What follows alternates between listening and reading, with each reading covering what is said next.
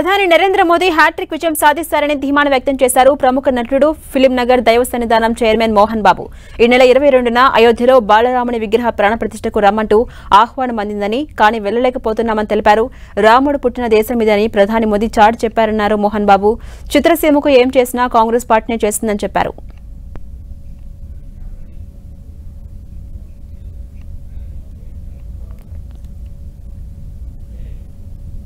రెండవ తేదీన అయోధ్యలో రామ మందిరం మొత్తం నిర్మాణ కార్యక్రమాలు అన్నీ కూడా చాలా గ్రాండ్గా చేయిస్తున్నారు.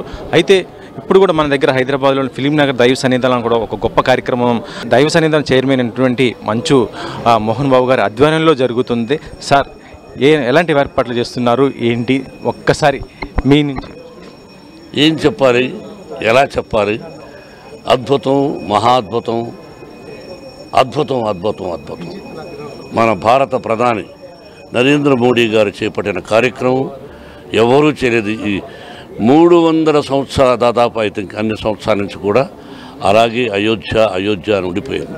నా అయోధ్య ఉంది కట్టి తీరుతాను అని చెప్పి ఆ శ్రీరామచంద్ర ప్రభువుకి ఒక దేవాలయం కడుతూ ప్రతిష్ట ప్రాణ ప్రతిష్ట చేయబోతున్నారు ఇరవై రెండో తారీఖున ఇది భారతీయుడు ప్రతి ఒక్కడు ప్రతి ఒక్కడు అది నూట ముప్పై మూడు కోట్ల నూట నలభై నాలుగు కోట్ల తెలియదు కానీ అంతమంది ఆనందించవలసిన విషయం పండుగ రోజు.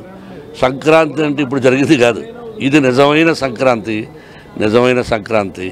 అటువంటి భారత ప్రధాని గారు మూడోసారి కూడా అత్యుత్తంగా నెంబర్ వన్గా ఏ అంటే ఏకఛత్రాధిపత్యం అంటారు.